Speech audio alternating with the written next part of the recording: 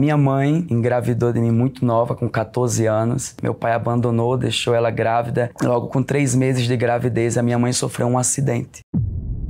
E esse homem alto, todo de branco, chegou para minha mãe e falou assim: A criança que está no seu ventre não vai morrer. E a criança que está no seu ventre é um profeta.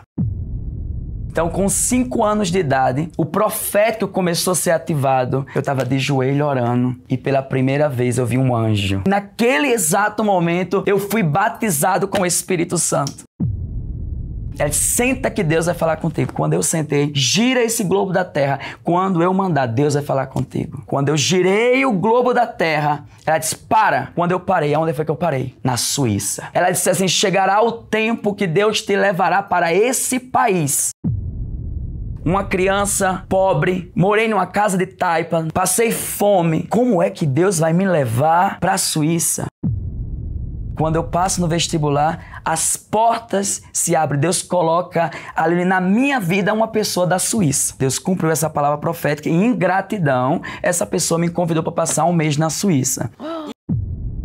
Não desista dos seus sonhos. Só basta você depender dele. E o segredo é guardar o seu coração.